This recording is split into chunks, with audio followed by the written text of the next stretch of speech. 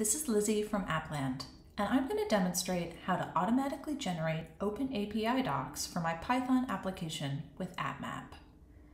My application is Misago, a popular forums application written in Python, Django, ES6, and React.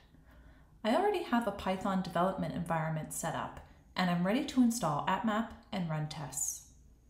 Installing AppMap is easy with the command line installation tool, which requires Node.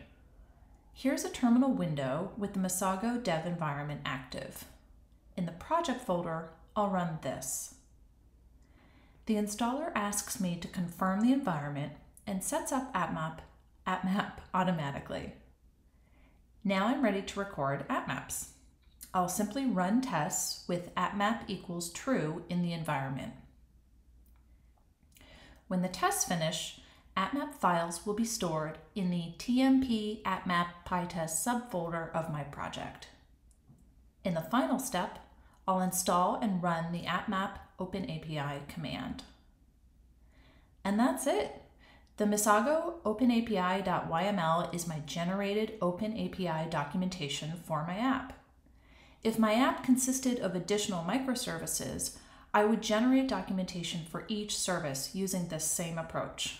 Step one, install AppMap agent. Step two, run tests. Step three, generate documentation. I can inspect Misago OpenAPI.yml in my IDE or in any OpenAPI tool. Let me upload it to swagger.io now. And here it is, an OpenAPI documentation of the Misago app in swagger.io, generated and imported in minutes. That's it for my demo. Thanks for watching.